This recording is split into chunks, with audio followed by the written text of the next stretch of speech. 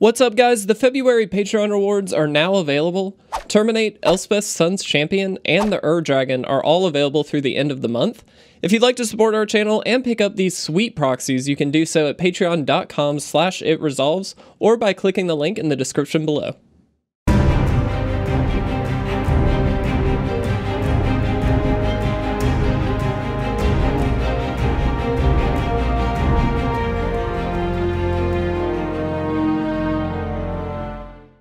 What's going on, guys, and welcome to another episode of the Let's Open series. I really need to start calling it that. Uh, that is technically what I changed it to. But anyway, today, let's open a pack of Guilds of Ravnica. This is obviously one of the newer sets in Magic's history, just coming out, oops, sorry about that, coming out last year. Uh, the first in the new cycle of the Ravnica set, uh, which I thought was very successful. Uh, Ravnica, in historically, is one of people's like favorite original sets. Uh, Ravnica City of Guilds came out quite a long time ago. We obviously had Return to Ravnica after that. Uh, and then we start off with Guilds of Ravnica in this last cycle. Uh, and honestly, all of them have been fine for me. Uh, I definitely think Return to Ravnica era was the worst. Uh, but Guilds of Ravnica, a pretty strong comeback, uh, not quite to the level of, you know, obviously the OG Ravnica, but who can expect that? So uh, I really like this set. There's a lot of really cool stuff in this set. Uh, a lot of multicolor is going to be the theme. Uh, so as we go through and kind of determine what our draft pick will be, that's something we need to keep in mind. Uh, we we know that we're going to be in multicolor uh, decks most of the time. Uh, a lot of times you can even splash a third color, so it's not really that surprising to find ourselves picking a gold card first. Where in a normal set, maybe we would try to avoid that, uh, just so we're not you know forcing ourselves into a couple color options that might be a little bit difficult to play. So this we are going to see that right off the bat. I'm going to focus down just a bit. Uh, there we go. So, all right, let's get started. Our first card here Healer's Hawk is a 1 1 for 1 white. It has flying and lifelink. Uh, as 1 1s go, this is a super strong card, so I actually really like this one. Uh, I don't think it's necessarily a first pickable card, uh, depending on the rest of the pack, obviously. But a 1 1 flyer on for one off the bat is great. A 1 1 flyer with lifelink is even better because you're going to just gain incremental life, especially in the early turns of the game.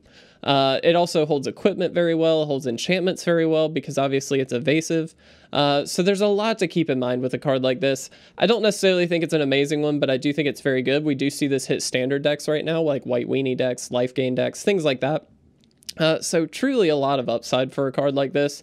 I'm going to keep it here for now with the expectation that we'll probably replace it uh, very soon.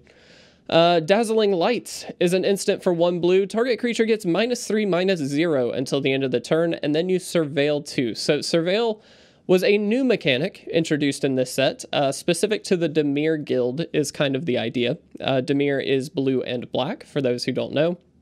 Uh, essentially, you look at the top, in this case, two cards of your deck.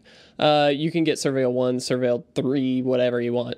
Uh, put that, put any number of uh, them into your graveyard and put the rest on top of your library in any order. So it's very similar to I, I, hesitate to say scrying because you don't put anything on the bottom of your deck, uh, but you get to filter your draws as if you're scrying. Uh, and so a lot of times what you find yourself doing is, you know, you surveil maybe later in the game, you get away from some of these lands that you may not need. Or in the early turns of the game, maybe you need a land. Maybe you surveil and keep the lands on top. So there's a lot of different ways you can do that depending on the state of the game. Uh, very, very strong mechanic, however, not a very strong card, Dazzling Lights. Uh, it's not great. Uh, any of these kind of combat tricks where it's like, I'm going to negatively impact the opponent's cards more than I'm going to uh, positively impact mine. I tend to avoid. I don't like them very much. It's a very blue way of doing a combat trick for sure. Uh, but the only reason you would truly play this is for the surveil mechanic. I don't think this is a great card to pick. Uh, Fire Urchin is a 1-3 for 1 and a red. It does have Trample. Uh, whenever you cast an instant or sorcery spell, it gets plus 1 plus 0 until the end of the turn. Uh, so actually, there this falls generally. It's not necessarily meant for, uh, though it definitely falls into the Izzet guild a little bit more, where it's very spells focused.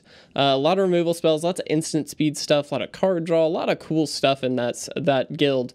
Uh, and this definitely falls in that category where it's buffing off of all those instants and sorceries. It's very reminiscent of the old weird cards that we saw, uh, weird creature type cards that we saw in uh, Return to Ravnica. Um, And it's a powerful card. It's not an amazing one, but I actually really like it. And I would debate on taking it over Healer's Hawk. I don't think either one is great uh, first pick, but this is a perfectly fine card. The only reason I don't like this, though, is that in draft, you tend to focus a little bit more on creatures. And so if you take this early, it's good because you know that you need to take those instants and sorceries. However, uh, you fall into the trap of, okay, I'm not going to be on board very strong most of the time. Uh, and so I think because of that, I'd rather take Healer's Hawk. Neither one's amazing. We'll see what we get, though, hopefully, throughout the rest of the pack. Uh, Urban Utopia is one in a green for an enchant land. Uh, when it enters the battlefield, you do draw a card, and then the enchanted land has tap and add one mana of any color. So this is a higher priority in this set than it is in a lot of other sets, again, because we're in a multicolor set. Uh, this is not something that I would first pick, but what I would do is if I find myself playing three, four, maybe even five colors, uh, just five color good stuff, you need, absolutely need cards like this uh, that not only give you every color of mana that you could possibly want, uh, but you also get to draw a card off of it. So it replaces itself immediately. There's a lot of upside to this. Not going to take it over anything that we've got so far because I don't know what deck we're going to be in, but this definitely allows you to, to splash colors, do whatever you need to do very, very easily. Uh, Moodmark Painter is a 2-3 for 2 and 2 black. It has Undergrowth, which is the Golgari mechanic, which is the green-black guild. Uh, when it enters the battlefield, target creature gains Menace and gets plus X plus 0 until the end of the turn, where X is the number of creature cards in your graveyard. Uh, if you don't know what Menace does, it can't be blocked except by two or more creatures. And Undergrowth is the, it counts the number of creature cards in your graveyard, specifically yours, not your opponent's. Uh, Moodmark Painter, not an exciting card, honestly. I think it's fine, uh, but it's not necessarily all that great. Uh, you have to have another creature on the field for this to be truly good. It can, I mean, it can target itself, uh, but it's not doing anything. It doesn't have haste. It's not going to be able to swing in uh, unless you have a way to give it haste. So I don't love this card personally. I'd honestly rather have the Healer's Hawk, uh, which is a little bit silly, but I do think it's just a more solid early game card. Uh, Capture Sphere is three and a blue. Uh, for an enchant creature, it does have flash, so you can play it at instant speed. Uh, when it enters the battlefield, tap enchanted creature. The enchanted creature does not untap during its controller's untap steps. So this is your very classic tapper claustrophobia style card for blue. It's removal for blue. The fact that it has flash is great. It does mean the card is a little bit more expensive than we would normally see for instance. Uh, Claustrophobia is two blue and a one. Obviously not in this set, but it does relatively close to the same thing. Uh, this obviously costs one more. Uh, not necessarily two blue, which is nice, but definitely a little bit more expensive. That all that being said, this is by far and away, I think, the pick so far. Uh, removal's always at a premium. This is a decent removal spell. It's not amazing. It's not just story target creature, but uh, for blue, it's about as close as you can get. Uh, and so I definitely think it is the pick here. Uh, Erstwhile Trooper is a 2 2 uh, for one, a black and a green. Discard a creature card, uh, gets plus 2 plus 2, and gains trample until the end of the turn. Activate this ability only once each turn. Uh, I found this card to be a little bit underwhelming. Uh, the the reason I don't love it uh, is it does help trigger undergrowth and everything like that, which is nice. But you're discarding creature cards, and creature cards are how you win in limited. Uh, and so yeah, you can invest a lot in this and hopefully get a lot of damage in, especially with trample, which is fine. Uh, but if they just have a removal spell, then like you're opening yourself up to getting two for one, three for one, a lot of different stuff. So I don't love it. I do think that there are decks that would love a card like this, but I tended, uh, during my time drafting Guilds of Ravnica, I really was unimpressed with this card. Definitely not a pick that I would take. Uh, Maniacal Rage is one in a red for an enchant creature, and very simply, it gets plus two, plus two, and cannot block. Um, two things important to note here. Uh, first thing, the plus two, plus two for two mana, I'm in. That's great. Uh, the fact that the creature cannot block means that you can actually use this on your opponent's creatures and actually win off of a card like this. I know that sounds very strange, but what I mean by that uh, is if the creature can't block and you're the aggressive deck, all that means is you have one less creature on the field that you have to worry about when you swing in with your full team. Uh, so that's a very corner case uh, instance, so I'm not saying you should ever expect that, but uh, it is really worth noting because there are going to be instances where you tag your opponent's creature, not your own, and then all of a sudden you have a free attack, which is awesome. Uh, all that to be said, I don't love this card overall. Uh, enchant creatures, generally not my favorite kind of cards, just because they open you up for that two for one. I've talked about it enough, but they're fine. I, I just don't think this one is particularly very good.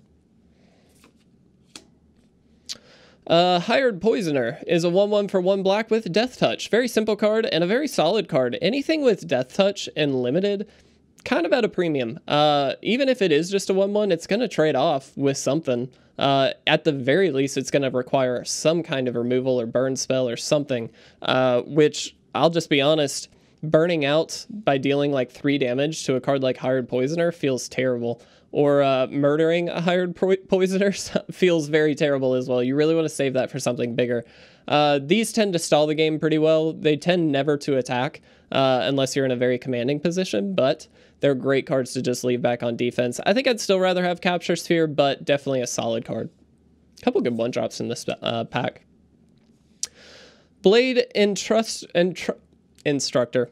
I can talk. Instructor uh, is a 3 1 for 2 and a white, and it features Mentor, which was a really nice limited ability for the Boros uh, guild. Uh, red white for those who don't know. Uh, whenever this creature attacks, put a plus one plus one counter on target attacking creature with lesser power. Uh, the important thing here is the lesser power. Uh, the reason that this card works so well in that deck is because it is a 3 1, not a 2 2, for instance.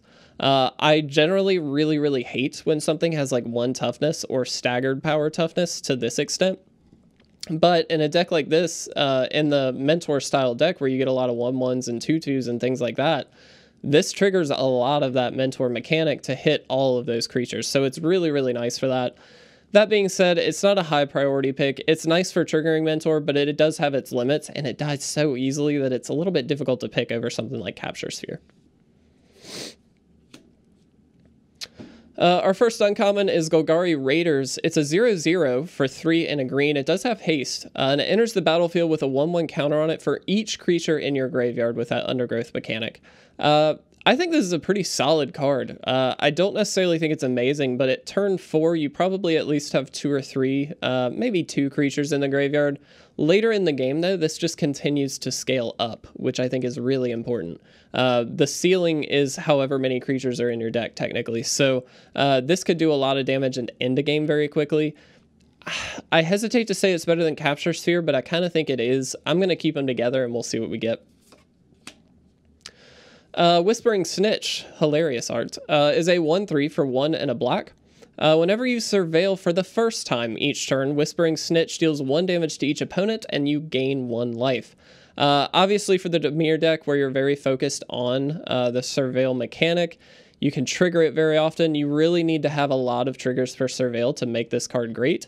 But if you can, it's very good. Uh, it does block on the ground at two fairly well. Uh, it's not amazing, but it's going to block a lot of the two twos and the early game stuff. Uh, and then it can just sit there and drain your opponent. So this is a really powerful card, but in only in tandem with a lot of other things that I would rather probably have first. I know that's a little bit weird, but I think I would not take this over the cards that we've already got.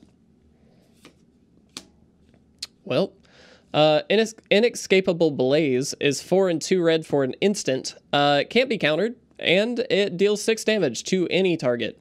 That could be a planeswalker, that could be a player, that could be a creature. It does not matter. So far, that's definitely the pick. Uh, so the the great thing about this, it can end a game. Obviously, if your opponent's at six life, this cannot be countered, and it's at instant speed. I win. Uh, it also deals with a heck of a lot of the creatures that get played in this format. Uh, yes, it's expensive, but at instant speed, who cares? Uh, it's fine. You can leave up your mana as you need to. Um, six damage is just a lot of damage. It's better than a lava axe by a long way. This is great. So definitely a strong pick. We'll see what our rare is. It is Pelt Collector. So one green for a 1 1. Uh, whenever a creature you control enters the battlefield or dies, uh, if that creature's power is greater than Pelt Collector's, uh, put a 1 1 counter on Pelt Collector. As long as it has three or more, uh, it has Trample. Um, this is like, so the cool thing about this is it's just a really solid 1 1. You should play it if you get it. I don't think it's better than Inescapable Blaze. Uh, the reason being is yes, it's going to get those counters on it. Yes, it's going to be a lightning rod for removal, of course. Uh, and long term, it's probably going to be something that could take over a game. The problem is your opponent has all the time in the world to deal with a card like this. Uh, so yeah, it could get very very strong. The sky's the limit with this uh, in terms of the ceiling, but like it can just die, and that kind of sucks. Um, so and it can die very early, even if you play this on turn one. So I don't super love this. I think late in the game, it's a very bad draw because obviously it takes a lot of time to get going. Uh, early in the game, it's a good draw, but it definitely is just going to get removed as quickly as possible. So I don't love it here as the pick. Uh, we do have the Boros Guildgate. So there's a Guildgate, if I'm not mistaken, in every pack. They are worth taking depending on your color combo not necessarily first pick, but definitely worth taking depending on what deck you find yourself in. Uh, and this one just, they all enter the battlefield tapped. This one happens to add the Boros colors of red and white. Perfectly fine. Not going to be the pick, obviously, until we know what the deck is. I definitely think the pick is Inescapable Blaze. Uh, I think that card is sweet. Definitely going to be the pick. If you disagree or if you have more insight into the Guilds of Ravnica set that you'd like to share, please do in the comment section below. Uh, but if you enjoyed this video, please make sure to leave a like or a comment down below.